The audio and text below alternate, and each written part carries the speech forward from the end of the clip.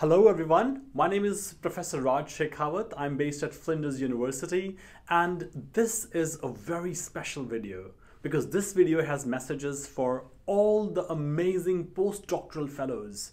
So if you are about to start your postdoctoral fellowship or you are somewhere in the middle of it, what are the most important four points you need to keep in mind so that you can have an amazing career post your postdoctoral fellowship? First and foremost thing is if you're into research, doing a really good quality research is really important. Make sure you give your best to that. Of course, research publication, uh, supervising other students, grant writing experience, all that is really, really important. Point number two, teaching. I know. Even if you are into research, teaching comes very handy and it's extremely extremely important to gain lots of transferable skills which can enhance your career and make you really competitive especially if you're going for academic positions.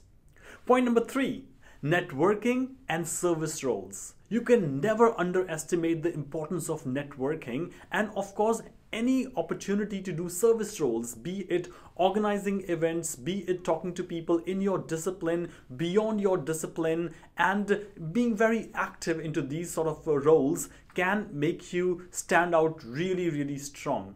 And finally, fourth and most important point, to have a digital footprint and social media presence.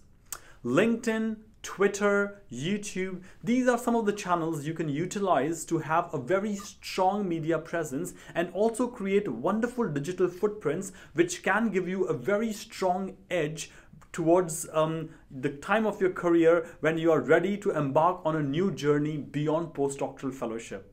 So all the very best and I hope your career goes really well, whether it's in academia, industry, or something else. Thank you. Bye.